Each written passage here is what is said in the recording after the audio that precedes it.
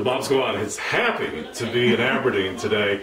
And you know, the Random Acts of Kindness allows me a chance to get out and meet some true heroes. And Marianne, Marianne is exactly that. I mean, every word. When you read her resume, I asked her when she came in, when do you sleep? And I don't know what the answer to that is because I don't think she does sleep. But uh, as uh, Bob's Random Act of Kindness winner for April, we'd like to present you with this from the Trophy House. This is uh, from Jimmy Keith and the staff there. And of course, we have Vic Victory here with us. Yes. Trophy House. thank you so, And some so. more. Oh, my. And Bob, there's some goodies in there as well.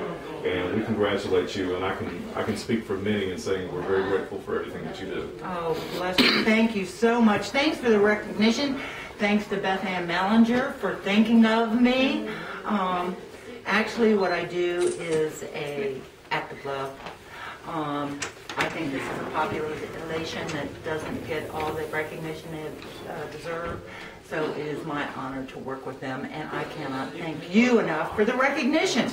On behalf of everybody at Linden Lodge Foundation and all the board of directors, this is for everybody. So thank you so, so much. But tell me, tell me in, uh, in your Reader's Digest version, because I think we could stay here a month talking about everything you do. Tell, tell us just briefly what you do here at the Linden House. We are uh, a residential home, um, and, the- and the key word there is home, for individuals with a serious and persistent mental illness, such as schizoaffective, bipolar, the serious chronic illnesses. So um, we are not a transition house. Many of these individuals may stay until um, they're elderly. And we make sure that they have every opportunity for life um, has to offer. They all volunteer. They are out there at St. Joseph the Pines, First Health, um, Habitat, the food bank.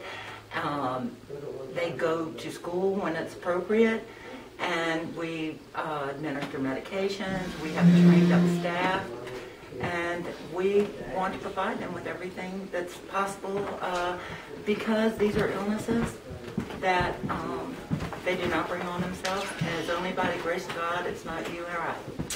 So that's what we do. So we are out and about all the time and gardening and taking care of property and taking care of Maggie the Wonder Dog.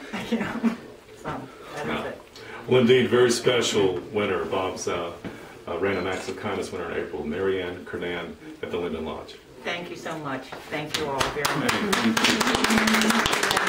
Thank you.